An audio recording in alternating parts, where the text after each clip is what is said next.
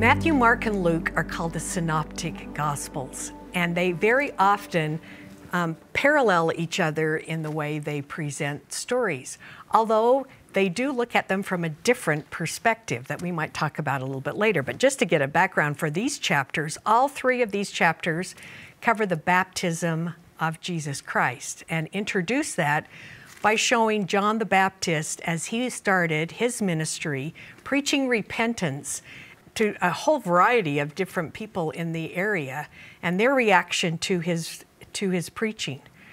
When Jesus comes to him, um, he's rather amazed, right? Because he says, Who am I that you, the Son of God, would come to me to be baptized of me?